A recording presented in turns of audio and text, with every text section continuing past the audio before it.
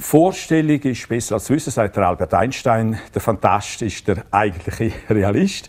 Das sagt der Gottlieb Duttweiler. Warum sie so lächeln? Ja, das denke ich mir auch. Wahrscheinlich ist der Fantast wirklich der eigentliche Realist. Willkommen in der Welt von der Vorstellung, von der Zukunft, wo jetzt vielleicht schon Gegenwart ist. Wo steuern wir hin? Haben wir es im Griff? Was geht es überhaupt in der Zukunft? Oder sind wir dann am Schluss die Gesteuerten? Wir sind hier im Gottlieb Duttweiler Institut Rüschlikon. Bei mir Karin Frick und sie ist Leiterin Research, glaube sagt man dem. Und sie hat uns wirklich während der Ferien empfangen. Ich muss sagen, sie ist auch ein Teil der Zukunft. Sie predigt nicht nur, sondern ja festgestellt, dass Medien machen, sie ist ein Teil der Zukunft. Sie hat telefoniert, sie hat sehr schnell reagiert, sie ist sehr kommunikativ. Ich glaube, das muss die Zukunft irgendwie sein. Und ich denke mir, ja, wenn man etwas lebt und nicht nur predigt, dann hat es schon eine gewisse Glaubwürdigkeit. Karin Frick, zu Ihrer Person. Was haben Sie denn gelernt? Was haben Sie gemacht? Ich habe mal Ökonomie studiert äh, an der Hochschule St. Gallen und bin dann schnell irgendwo in der Zukunftsforschung gelandet in dem Bereich, wo ja nicht eine eigentliche Wissenschaft ist. Ich habe sehr viel Freude auf dem Gebiet und bin sozusagen seit 30 Jahren in dem Feld tätig. In der einen oder anderen Form befasse ich mich mit Zukunftsforschung. Und Sie haben Kind. Was sagen denn Kind, wenn Sie da so fantasieren? ich habe zwei Kinder, einen 28-Jährigen und einen 14-Jährigen. Und ich meine, die sind eigentlich daran gewohnt, dass sich ihre Mutter mit Trends und Tendenzen befasst, was immer noch spannend ist. Vor allem mit meinem Jüngsten habe ich fast eine Art Wettbewerb, wer schneller mehr über neue Sachen Bescheid weiß.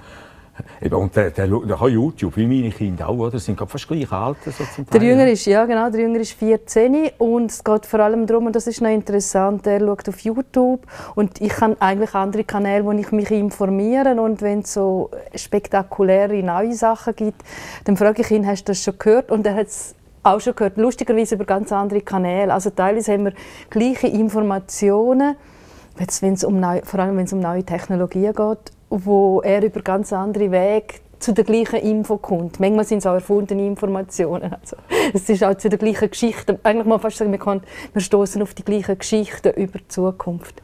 Ich frage darum, damit es ein bisschen greifer wird. Weil mir geht es ja genau gleich. Oder? Meine Kinder recherchieren völlig anders als Sie. Wir machen jetzt das Fernsehen, da kriege ich wahnsinnig viele Rückmeldungen über. Auch Leute, die Fernsehen schauen, dann auch Jugendliche. Und ich denke, die schauen das gar nie.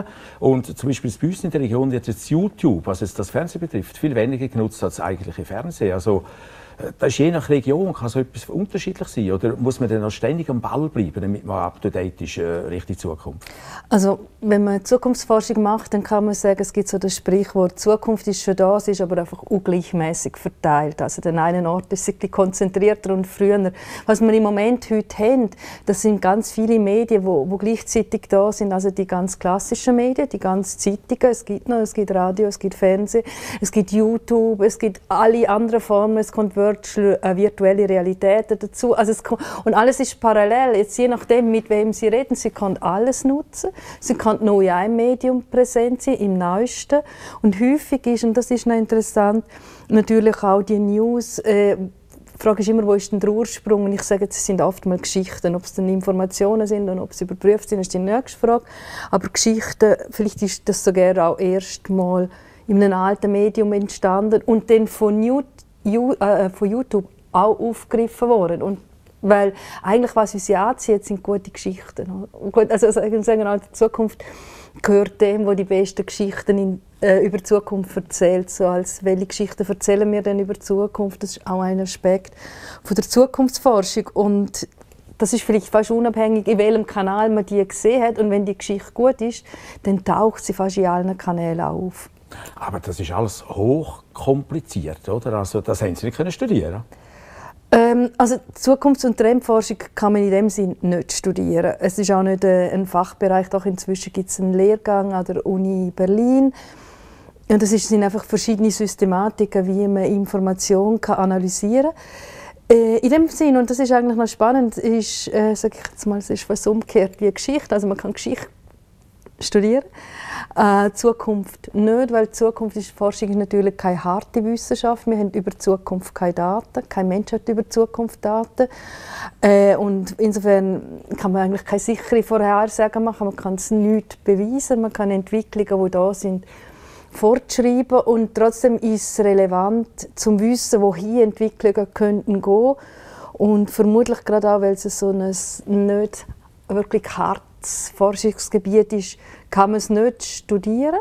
Es ist aber, in, wir leben in einer Zeit, wo sich sehr viel verändert, sehr viel verschiebt und darum ist das Bedürfnis zu wissen, was sich dann könnte verändern, was kommt, ist eigentlich umso größer. Darum hat sich sozusagen mehr, sage ich, in einer Grauzone zwischen äh, Forschung im engeren Sinn, wo Uni betrieben wird, und Beratung hat sich so etwas ausgebildet wie äh, Trendforschung, Zukunftsforschung.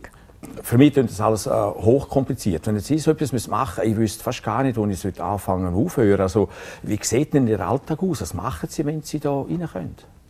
Als Trendforscher schafft man eigentlich ähnlich wie ein Journalist. Also man geht mal aus von einer Fragestellung oder von einer Beobachtung von der neuen Entwicklung. Ähm, recherchiert dann in verschiedenen Gebieten. Also nehmen wir an, es gibt so wie als Thema, wo wird, also würden wir in Zukunft noch Fleisch essen als Fragestellung, dann sieht man in der Forschung, es gibt neue Produkte, die das Fleisch ersetzen kann, also sozusagen Fleisch, das im Labor wächst. Das ist schon technisch weit machbar. Dann kann man nachher schauen, ja, wird das auch akzeptiert sozial, also da kann man auch sehen, wie wird das kommentiert. Ähm, also insofern haben wir wir brauchen eine Fragestellung, weil ich meine, die Zukunft fällt nicht. Wir brauchen eine Fragestellung oder eine Beobachtung und der gehen wir nach, ähm, zum wissen, was ist. Und, Kriegen Sie einen Auftrag über? Ähm, ja, wir, haben, wir machen Auftragsstudien. Viele Frage, Studien, die wir machen, sind im Auftrag von Institutionen, die sagen, ja, wir wissen, also wir sind in einer Zeit, wir wissen etwas, dass es nicht mehr so weitergeht wie bisher, aber wir wissen nicht, wohin es geht. Also wir brauchen einmal jemanden, der uns hilft, so quasi der Horizont im Großen äh, zu untersuchen. Jetzt kann man sagen, wir haben Ausgangslagen, was beeinflusst die Zukunft und ein Stück weit kann man sagen, okay, wir haben neue Technologien, wir haben gewisse politische Entwicklungen, es gibt ökologische Entwicklungen und dann muss man die wie ein bisschen weiterdenken. Also man muss spekulieren, aber man muss gewissermaßen plausibel spekulieren. Wir sagen dem auch, wir machen Szenarien. Ähm, man kann nicht wirklich präzise Vorhersagen machen. Darum geht es darum, vielleicht so ein Spektrum der Möglichkeiten zu kennen, wo hier eine Entwicklung könnte gehen Und darum macht man häufig auch verschiedene Szenarien, also wo verschiedene auch Extremszenarien. Und dann sagt man, okay, wenn wir die kennen, haben wir ein breites Feld von Möglichkeiten. Das heißt nicht, es ist so, aber wir sehen, wohin die Entwicklungen könnten gehen. Und das hilft einem mal, sich vorzubereiten. Und ihr habt natürlich eine riesige Erfahrung, da muss ich vielleicht sagen, auch wenn wir jetzt bei euch sich hinloggen, Gottlieb Duttweiler Institut, da gibt es ja auch äh, Literatur, also zum Beispiel ich für das Radio Service Public so etwas gemacht. Übrigens, äh, ja, liebe Zuschauerinnen, liebe Zuschauer, so etwas könnt ihr selber nachlesen, ist im Download sogar gratis erhältlich, damit ihr euch vorstellen könnt, so etwas sich abspielt. Ist alles nicht so einfach, aber höchst interessant und zeigt euch den Weg. Ab beim Service Public äh, zeigt es der Weg, wo man dann ja eigentlich auch sieht, dass es eingeht. Also ihr habt doch äh, relativ hohe Treffsicherheit, da muss man glaube schon sagen, oder? Ähm Teilweise hat sie jetzt gerade auch hingeht, wo wie wird die zukünftige Mediennutzung sein, hängt natürlich einmal davon ab, welche Technologien das wir nutzen. Die neuen Technologien einmal, die fallen nicht aus dem Himmel, die werden entwickelt. Und wenn man jetzt virtuelle Realitäten entwickelt, dann kann man sich vorstellen, dass in Zukunft oder Hologramm, dass das ähm, sozusagen das in zehn Jahren die Situation ist, dass die, die jetzt zuschauen, oder, die würden sozusagen auf der anderen Seite vom Sessel hocken und wir hätten das Gefühl, wir sitzen alle nebeneinander. Also die, Entwicklung ist da und jetzt weiß man ja, wenn das so ist, wie kann sich denn das Verhalten ändern? Wird es überhaupt akzeptiert? Wird es nicht akzeptiert? Gibt es parallele Sachen? Und das ist immer, wenn ein neues Medium kommt, alles weiß man nicht. Aber Technologie, das ist ziemlich plausibel. Also Technologie entwickelt sich weiter. Ähm, das sind ja, nochmal, es sind ganz viele verschiedene Facetten. Ich frage, welche Fragen stellt man. Es erstaunlich ist, und ich kann auch sagen, es ist eigentlich viel Information ist da und bekannt und eigentlich ist es erstaunlich, wie wenig das beachtet wird, wie lange man das nicht wahrnehmen wie lange man das, das Gefühl hat, ganz generell, nein, das passiert nicht. Also sagen wir das Thema Einkaufen online, das haben wir im GDI schon, weiß ich, vor 20 oder man hat es wahrscheinlich schon vor 30 Jahren thematisiert. Die haben die meisten gesagt, ja, so eine Nebensache, das passiert nicht. Ja, also ein paar Bücher und so kann man online bestellen, aber die Hauptsache findet im realen Geschäft statt. Und ganz lang versuchen sehr viele Leute, jetzt rede ich mal von Entscheidern in Unternehmen, an dem festzuhalten, was ist. Und man versucht tausend Gründe, wieso das nicht kann. Also man will, dass es nicht so wird. Und darum sagt man ganz viele Gründe, dass es nicht so soll sein. Ähm, ja, das Beispiel dazu, wir haben, ich glaube, vor drei Jahren haben wir einen Report gemacht, eine Studie über die Zukunft vom Lebensmitteleinkauf und da sind wir sehr viel, da wären wir sehr viel länger beim stationären Laden bleiben, als, als dass wir das online machen. Und in dem Jahr haben wir gesagt, dann haben wir ein Titelbild gesucht und dann haben wir gesagt, komm, wir machen ein futuristisches, wir wollen so eine Drohne, die das ausliefert, einfach als Titelbild, weil es ist ja um die Zukunft gegangen.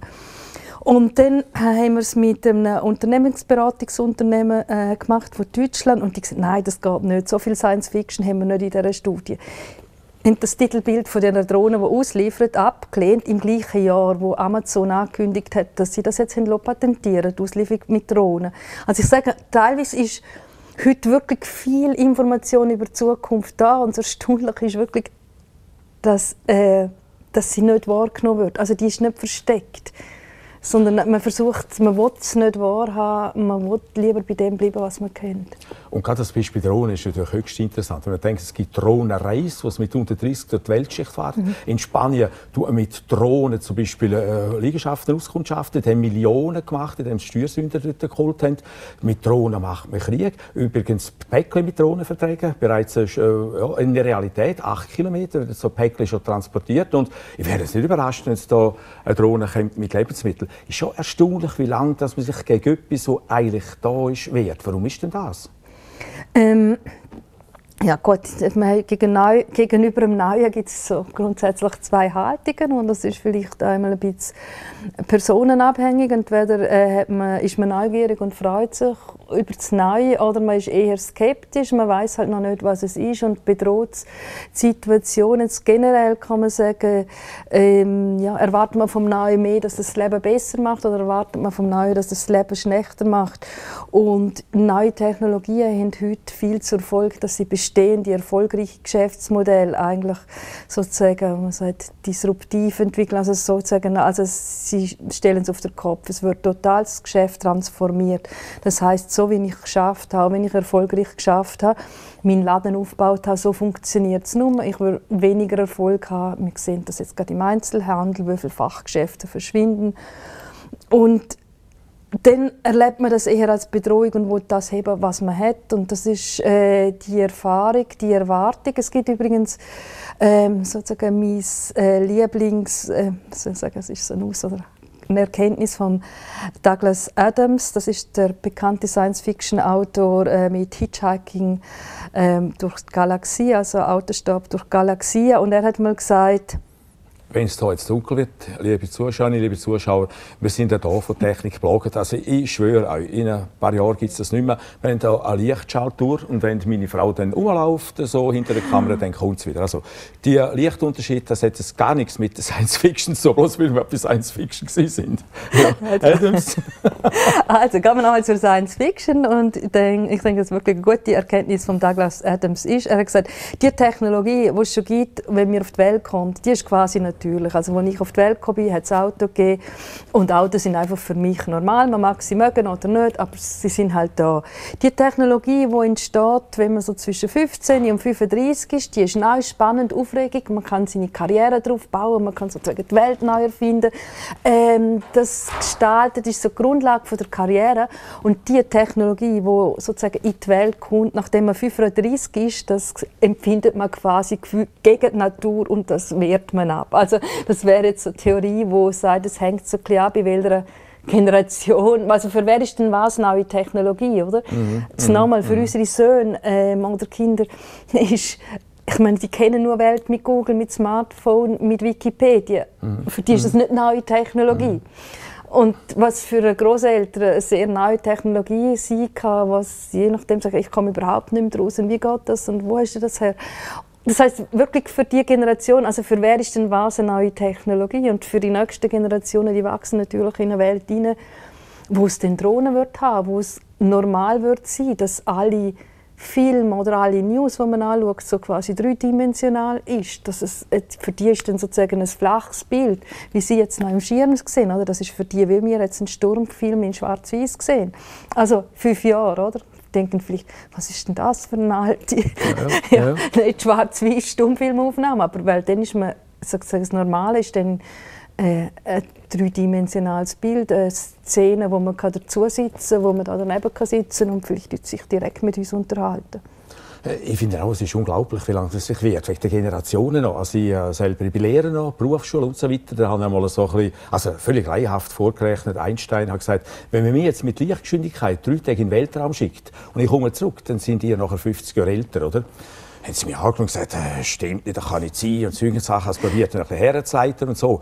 Ich habe manchmal das Gefühl, auch junge Generationen glauben dies und jenes nicht, wenn es nicht Alltagserfahrung ist. Sie nehmen das Handy vor, sie gehen Strahlung dort auch nicht, ist aber völlig klar, die existiert, sonst kann sie nicht funktionieren. Aber sobald etwas nicht Alltagserfahrung ist, glaubt man es nicht. Meine Frage ist jetzt, äh, das, was ihr macht, ist eigentlich auch zukunftsweisend. Also, wenn ihr das nicht machen würdet, wäre der Fortschritt ja gleich und man sieht dann aber nicht, was auf uns zukommt, oder? Also der Fortschritt findet statt, ein Stück weit erklären wir ja, was passiert, möglichst ein bisschen, es passiert. Und äh, ich glaube, es ist nochmal ein Unterschied, äh, ob es ums Eigenleben geht, weil ich meine, ob man jetzt früher oder später, sagen wir, so eine Virtual äh, Reality Brille kauft, das ist nicht so entscheidend. Für ein Unternehmen ist es natürlich sehr entscheidend, oder? Also sagen jetzt, was wir machen, ist für alle wichtig, aber wichtig sicher auch für Unternehmen, wo man sieht, wie sieht mein Geschäft morgen aus. Und wenn alle Leute online einkaufen, dann muss sich ein Händler überlegen, wie er sich organisiert.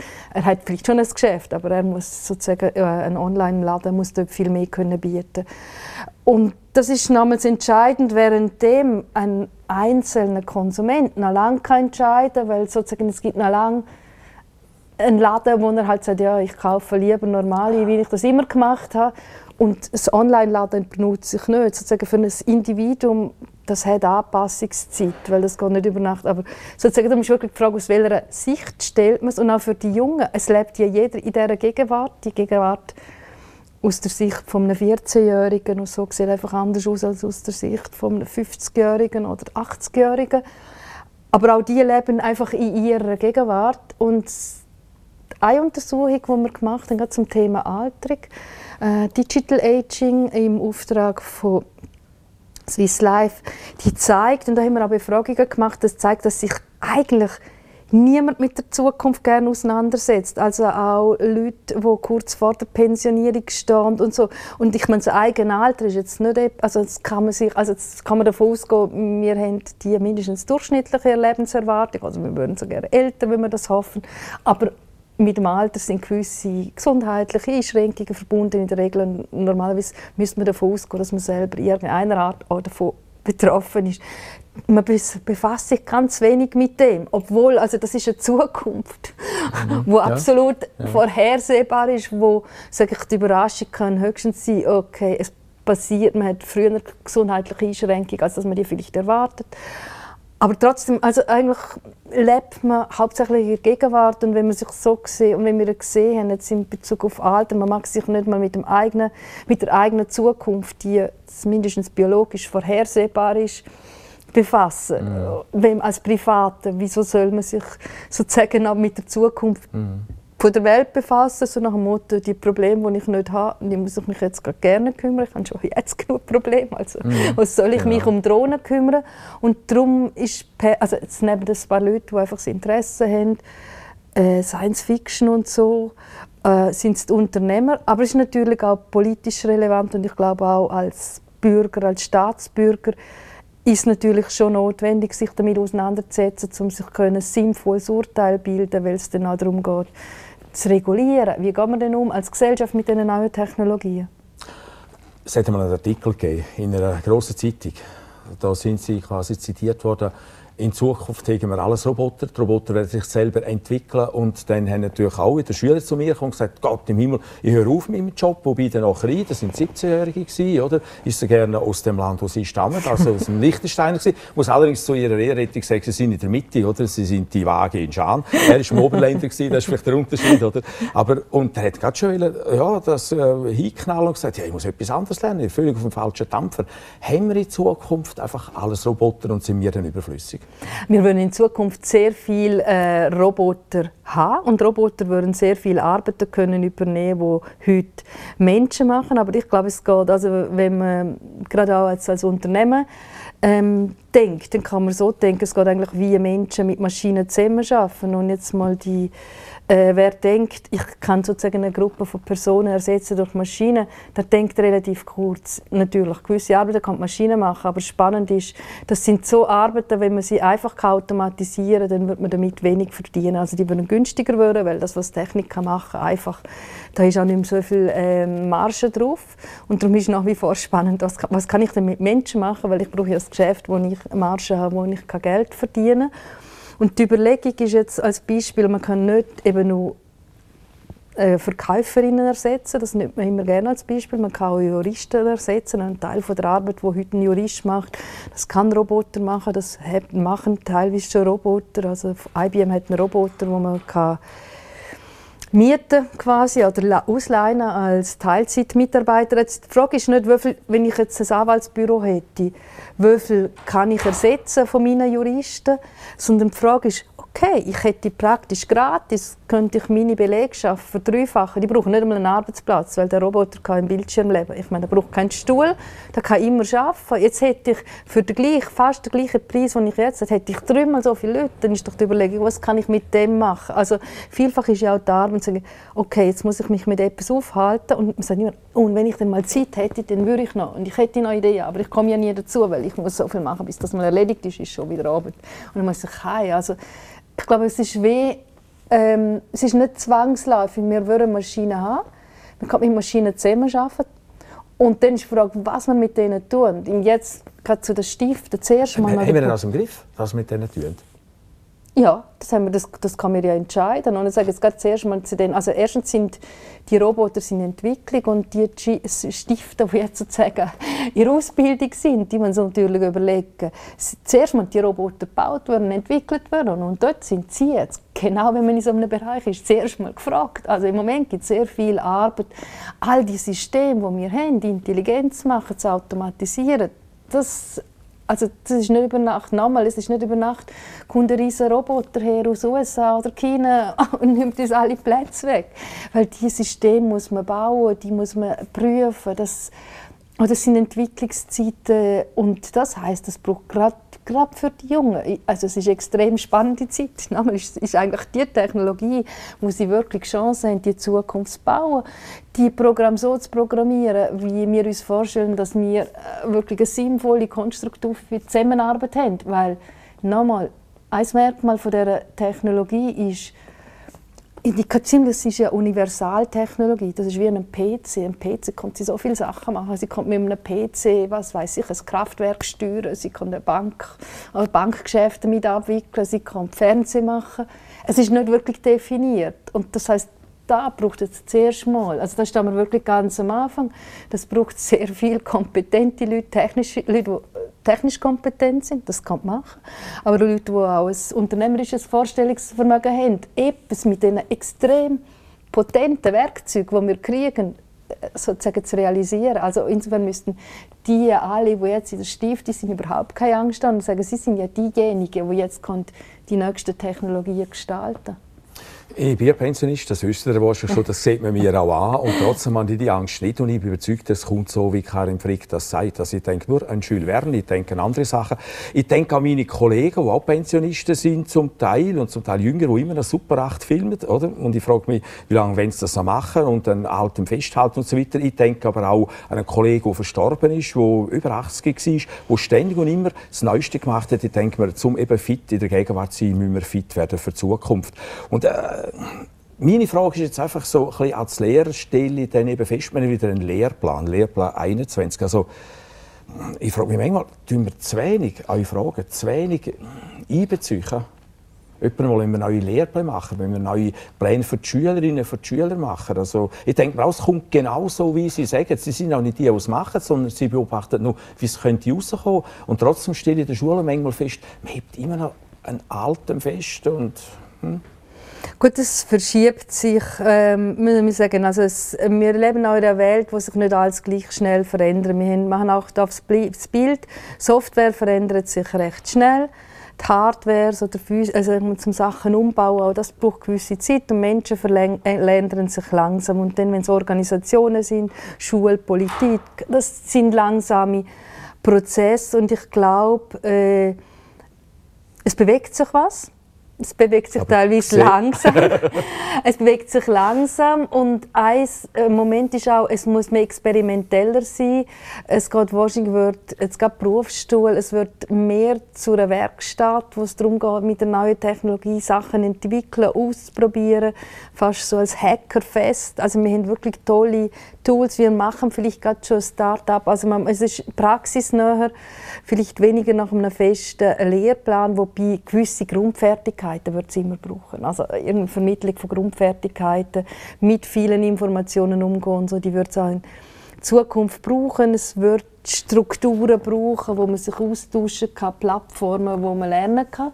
Man kann natürlich auch, also vielleicht gibt es dann irgendwann mal das Szenario, dass man sich ähm, nochmal wie im Science Fiction, das, was man nicht weiß, sozusagen direkt abladen im Kopf. Also wenn man das Wissen nicht hat, dann könnte ich es mir sozusagen direkt ins Hirn laden. Aber da sind wir jetzt auch noch nicht. Bis dann braucht es immerhin auch die Fähigkeit, auch die Fähigkeit zum kritischen Denken. Aber ich glaube, ganz stark ist wirklich auch ein unternehmerisches Denken, weil ich sehe, ich habe sehr viele Möglichkeiten. Was mache ich denn mit denen? Also ich kann nicht so viel schränken. Wir sehen heute, und das ist sehr interessant, die, äh, wenn man eine Idee hat, man kann äh, sogenannte Crowdfunding, man kann sich sozusagen auf dem Markt relativ einfach Kapital beschaffen.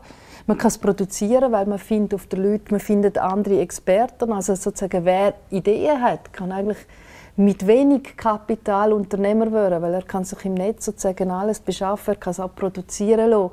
Und ich glaube, mit dem Potenzial umgehen, ist etwas, wo man sich, äh, und da braucht es natürlich, meine, das macht man nie allein, das muss im Netzwerk passieren, und das ist etwas, wo man sicher noch stärker kann. Was, oder ich glaube, wo stärker dann wird in den Vordergrund rücken in den nächsten Jahren in der Ausbildung. Haben Sie das Gefühl, es bewegt sich etwas? Ja, und ich glaube auch, und das ist, bin ich jetzt nochmal dort, wo ich glaube, es ist wirklich, es gibt auch unterschiedliche Entwicklungen und da sieht man, dass wir in Europa eher noch zurückhaltend sind, während zum Beispiel äh, Amerika sehr ähm, Trend Trend begeistert ist und sehr schnell sich begeistern von Trends und dort zum Beispiel einfach eine viel dynamische, dynamischere Start-up-Szene ist, weil Junge sagen, ja, ich habe eine Idee und es ist eigentlich super cool, ein Unternehmen zu gründen.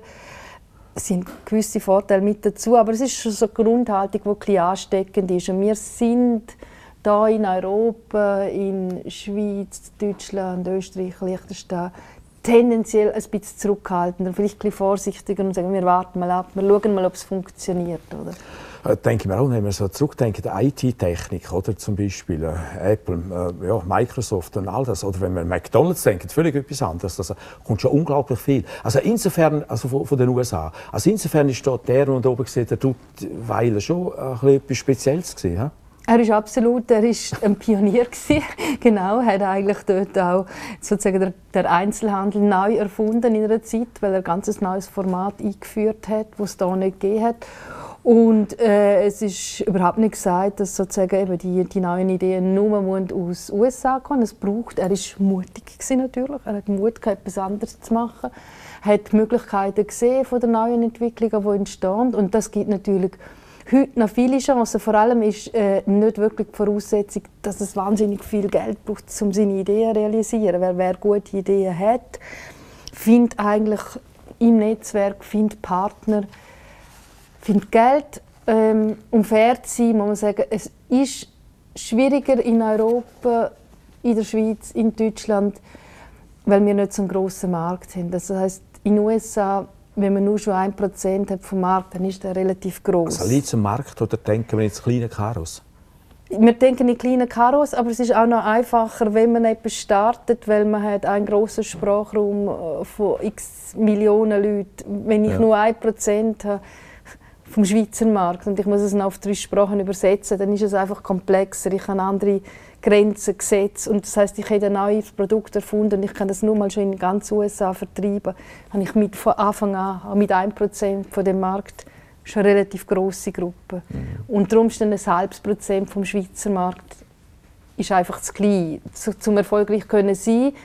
Wenn ich das Produkt muss gerade können in ganz Europa vertreiben, dann muss ich es mehrsprachig machen. Also dann hat schon, es wird schon ein komplexer. Ich muss unterschiedlichen Gesetzen folgen. Also gerade wer das Produkt auf den Konsummarkt wird bringen, hat es natürlich einfacher, wenn er einen recht grossen homogenen Markt hat, relativ homogen in Sachen Sprache mhm. und mhm. Gesetzgebung und Regulierungen, weil er dann die Chance hat, mit seiner Idee, mindestens in dem ganzen, sage ich, in den USA gilt auch für China, erreiche ich mal schon ganz viele Leute. Und mhm. dass die, die kleinräumige Vielfalt, die Vorteile hat, aber ist anspruchsvoll, weil halt so ein ja, genau, man kommt vielleicht nicht auf die kritische Größe, die es braucht für gewisse Produkte. Ähm, wenn Sie sehen, konkret eine App und mit einer App wirklich erfolgreich zu sein, muss sie wirklich hohe Nutzerzahlen haben. Und eine App, die irgendwie 1% der Schweizer nutzt, das mag nicht sein, das mag ihnen sogar so irgendwie mag eine Referenz sein, wenn sie Entwickler sind, aber sie würden nicht reich. Mhm. Also sie, sie, mhm. ob, sie kann wahrscheinlich nicht einmal davon leben. Sag. Gut, aber ich werden wir natürlich auch nicht, wenn wir die Arbeit hier hergehen, was billiger ist, oder? Wenn wir die Produktion extern gehen, also haben wir im Grunde dann die Jobs auch weg, oder? Also ich frage, welchen Job das man macht und im Moment ist ja der Trend, dass eigentlich die Industrie zurückkommt. Also wenn wir, und dort gibt es natürlich für alle Chancen, gerade auch im Rheintal, für alle Zulieferer, wenn es um Maschinenbau geht, äh, würden wir in Zukunft die 3D-Drucker machen. Das sind haben Sie es gemerkt, aber haben Sie es zu spät gemerkt? Können wir die wieder zurückholen? Also, ja, Definitiv. Schon. Weil, ja, weil ich meine, mit dem 3D-Drucker heißt das, die kann man erstens herstellen. Der 3D-Drucker mu muss ja nicht im fernen Osten stehen. Der 3D-Drucker kann bei mir daheim auf dem Küchentisch mhm. stehen und ich kann dort, also mache jetzt mal nochmal Prognosen in zehn Jahren, äh, ist es vielleicht möglich, so die Hälfte von den Sachen, die nicht essen sind, die ich brauche, aus dem 3D-Drucker auszudrucken. Das, äh, ja, das kann so ein Blumentöpfe sein, das kann Besteck sein, das kann einfache Schuhe, Kleidungsstücke sein. All das muss ich nicht mehr kaufen, weil ich produziere es da. Das heißt, das verschiebt sich extrem.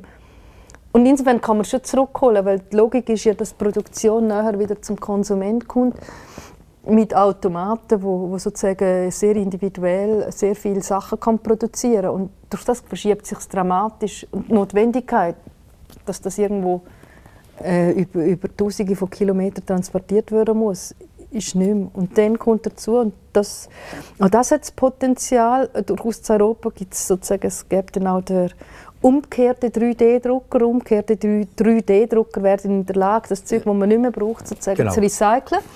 Und dann hätten wir auch wieder das Material, also dann müssen wir nicht unbedingt neues Material haben, sondern sagen, ich brauche etwas nicht mehr, ich weiß nicht, wo das neue, neue Sitzgruppe, dann wird die so quasi recycelt.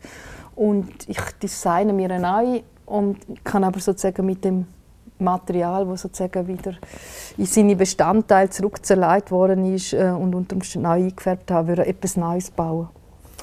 Sie hätten eigentlich sollen Unternehmer werden. Sie wären da im Rahmen von Unternehmer eigentlich äh, sind Sie aufgewachsen, wenn Sie da denken, Martin Hilti, Ostbrot Hilton und so. Das sind doch eigentlich Unternehmer, die sich etwas trauten, im eigenen Land zu machen und das hat sich bis zur heutigen Zeit erhalten, oder?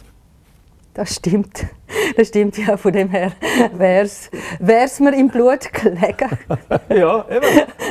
weil umso mehr, weil sowohl der Martin Hilti als auch der to Toni Hilti, das sind noch Brüder von meiner Großmutter. Ja, eben, darum, das habe ich über so etwas gehört. Ich habe ganz einen kleinen Break dass ich etwas nicht gehört habe, ich vielleicht schaue gegen Mikrofon dort weg Kettel, aber das machen wir gerade. Ja. Nur damit wir merken, ja. dass da nichts geschnitten ist und irgendetwas einsehen. Mir hat das immer erstaunt, ja, der Martin Hilti noch kennt, mich hat es erstaunt, wenn er einfach dort geblieben ist, den Produktionsstand Industriestandort, wie er rausgegangen ist im Betrieb, wie er nachher, glaube ich, weiß nicht, 600 äh, verschiedene Orte hat er das Ganze aufgebaut. Wir haben jetzt eine Stunde Ospelt, über der hat man dies und jenes geredet. Aber wie die das gemacht haben, fast aus einer Garage aus, das geschaffen haben und so. Und was Sie jetzt sagen, äh, es wäre bei uns wieder möglich. Also das heisst nicht einfach nur, ja, die haben halt Schwein gehabt, die haben früher gelebt. Das könnte wieder möglich sein, oder? Ja, ah, durchaus, absolut, weil das Potenzial ist da, es sind aus, gut ausgebildete Leute und ich glaube auch so wirklich so äh, unternehmerische Grundhaltung, glaube ich auch immer noch, soweit ich jetzt das sehe, ist auch vorhanden im Rheintal. Also der St. Galler Seite auf und auf der Liechtensteiner Seite, beiden Seiten. Was man ja sieht, also das ganze Rheintal ist durchaus, also das ist eine interessante Struktur von Unternehmen, die alle im Hightech-Bereich mhm. sind. Es sind ja nicht Unternehmen, die stehen geblieben sind. Alle, mhm. also alle, die aber, aber jetzt einfach nochmal, oder? Es, es hat doch immer geheißen, äh, wird, äh, Liechtenstein ist eine Agrarstaat. Auf einmal ist das Land mit dem grössten Pro-Kopf-Einkommen der westlichen Industriewelt gewesen. Ist, ist das kleine Land mit 160 Quadratkilometern irgendwie ein Land, das mehr so ein mutige Denker hat? Oder warum hat sich das gerade dort entwickelt. Also, wenn ich Ostsport sage, es gibt ja auch Ostsport, also, es gibt ganz andere Firmen. Also, Hoval, dann natürlich, äh, wie heißt die Zahlfirma schon wieder? Weiss Ivoclar. Ja, genau, die Ivoclar. Oder? und, ja. eben, genau. Und, und ganz andere, also, die haben wirklich extrem viel geleistet in diesem kleinen Land. Hängt das zusammen mit irgendwie... Ein Stück weit ist Dynamik, also ich sage jetzt, unternehmerische Dynamik ist ansteckend und das ist vielleicht der Vergleich, wie wir vorher vom Silicon Valley geredet haben. Auch dort, also auch Junge, es ist wie ansteckend. Jeder will Unternehmen würden.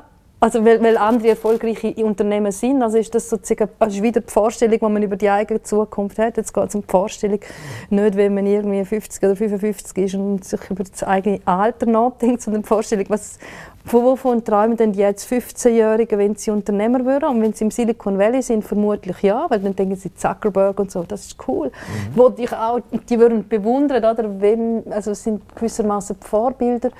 Und vermutlich ist zu der Generation, wo jetzt viele große erfolgreiche Unternehmen entstanden sind im Liechtenstein, im Rheintal, es ist das auch so ein wie ansteckend gewesen, die Haltung und wenn es die eine, also namens Hilti, sind zwei Brüder gewesen, also es ist sozusagen, wenn es der eine macht, kann es der andere auch.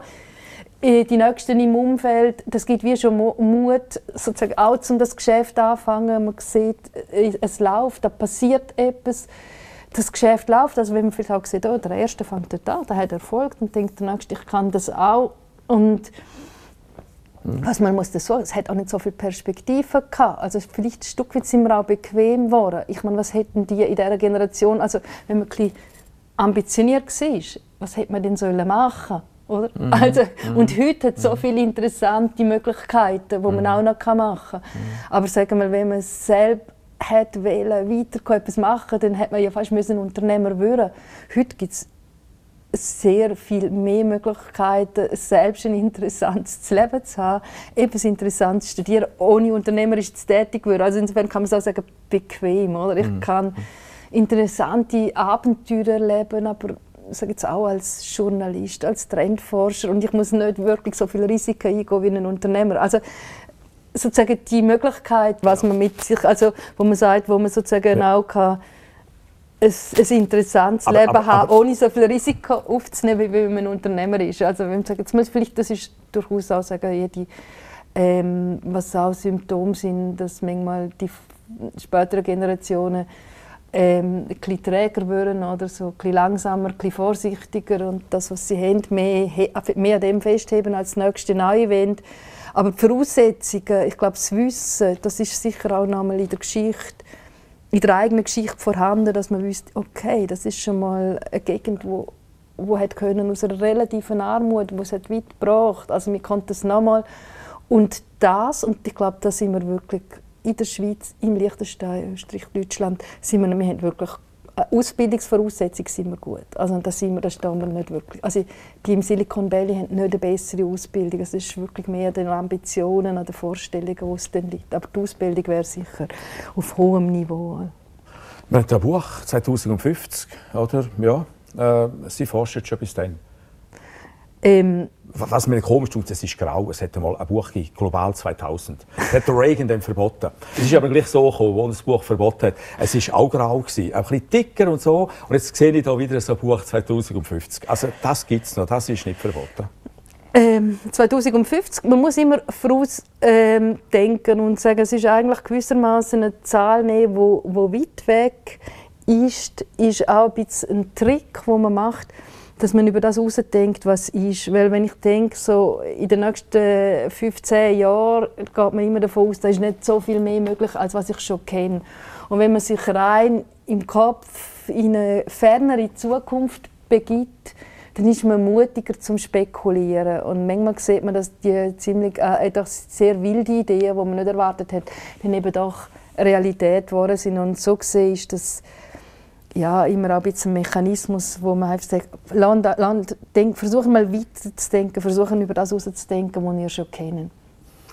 Wir könnten natürlich noch ewig reden. Ich mit Karin Fricker Rosch haben gemerkt, die Gegenwart ist wirklich eine Zukunft. Wenn ihr die Gegenwart genau beobachtet, vielleicht ein kleines bisschen zurückblendet, was ist passiert in den letzten 10, 20 Jahren, vielleicht, wenn ihr jung seid, auch noch zurückblendet, was ist passiert in den letzten fünf Jahren, dann müsst ihr eigentlich denken, Jules Verne, der gesagt in 80 Tagen um die Erde, oder denken an Galileo Galilei, der auf dem Scheiterhaufen gelandet ist und gesagt hat, der hat 30, so lange ist es auch nicht her. Dann denken wir, dann müssen wir auch in die Neuzeit kommen und denken, 2050 spannendste Ideen sind wahrscheinlich Realität. Ich persönlich ich behaupte, bei 63 wir würden wir mal noch beamen können. Also ich bin felsenfest überzeugt, wir werden Hirn können scannen, wir, können es, wir werden es können auffüllen, wir werden können beamen, schneller als Lichtgeschwindigkeit. Ich werde es sicher nicht erleben.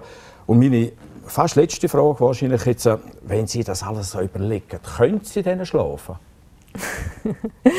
ja, also ich denke, ich kann sehr gut, gerade darum gut schlafen, weil ich glaube, Menschen sind erfinderisch und wenn wir das nicht wären, dann könnte ich schlechter schlafen. Also wenn ich, genau, sie sind erfinderisch, sie kann mit sehr verschiedenen äh, Situationen umgehen, sie kann, sich, äh, sie kann sich weiterentwickeln, das zeigt die ganze Geschichte, auch mit Rückschlag. Aber wenn wir denken, es ändert sich nichts, dann fände ich das Szenario eigentlich viel bedrohlicher. Für ja, genau. wo wir den Schlaf für rauben. Ah, also das heisst, wir gehen eigentlich in eine schöne, interessante Zukunft, oder? Wir müssen nur nicht Zukunft wird springen. interessant, wahrscheinlich definitiv. Äh, ob sie schön wird, ob sie für alle schön wird, ob es zwischendurch relativ rumpelig wird, ähm, das äh, gehört alles mit dazu. Es wird wahrscheinlich nicht einfach so einen geradlinigen, schönen Weg geben, ohne dass zwischendurch nicht für den einen oder andere auch, auch schwierig wird. Aber es wird Menschen brauchen. Ähm, Menschen sind im Moment diejenigen, die agieren und ich glaube, das, das haben sie noch lange in der Hand und insofern haben es Menschen in der Hand, wie die Zukunft aussieht und nicht irgendetwas andere außerirdische Intelligenz.